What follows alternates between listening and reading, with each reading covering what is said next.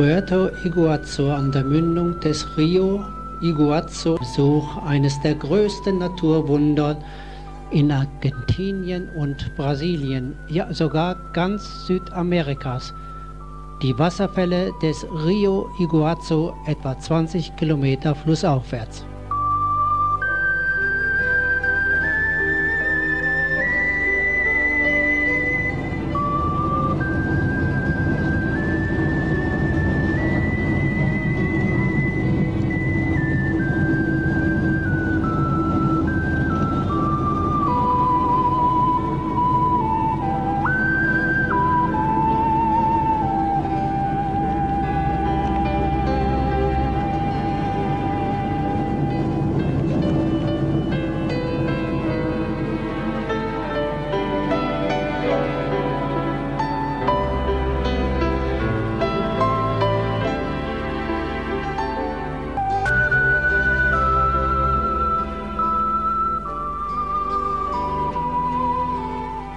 Kaingang-Indianer am Rio Iguazu glaubten, dass die Welt von der göttlichen Wasserschlange Mboi regiert werde.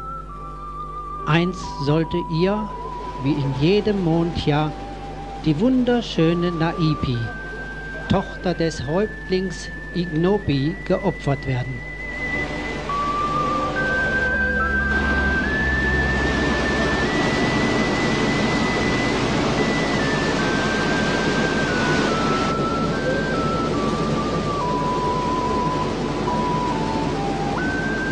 Naipi aber verliebte sich in den jungen Krieger Naroba und bestieg mit ihm in der Opfernacht ein Kanu.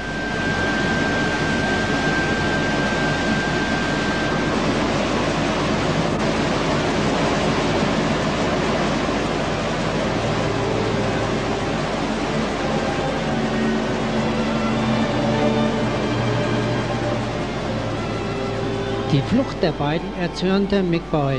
Wild schlug die Wasserschlange um sich. Sie peitschte den Fluss auf und drang sogar in die Erde ein.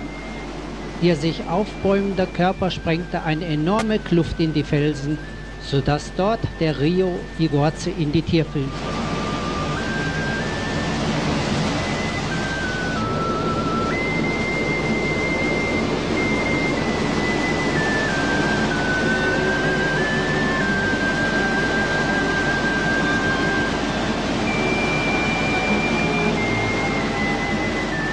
Wassermassen rissen die flüchtende Häuptlingstochter und ihren Geliebten aus großer Höhe mit sich.